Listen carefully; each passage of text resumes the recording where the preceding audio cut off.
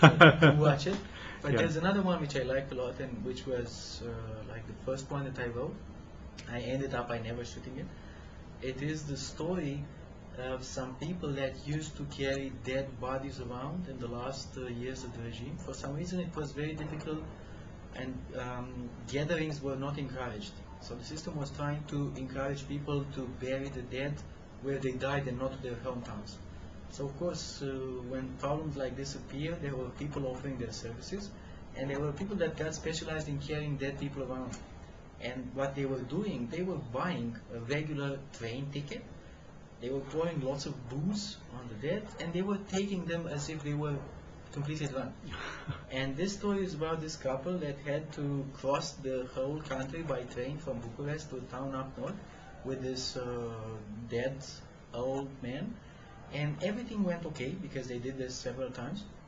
Until the moment when, because the, the trip was so long, they wanted to have a little bit of something, and to drink something, and everything was quiet and peaceful in the compartment, so they left to drink something, and they left the dead man with a couple, a young couple which was there, just saying, you know, just uh, take care, it's the old pa, he's sleeping, he's fine, but just take care.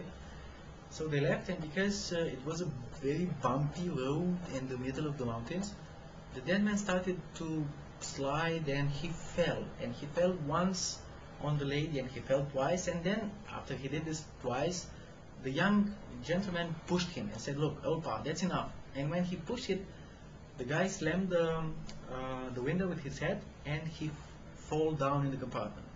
Yeah. So they looked down and said, My God, we killed the old fellow. This is unbelievable.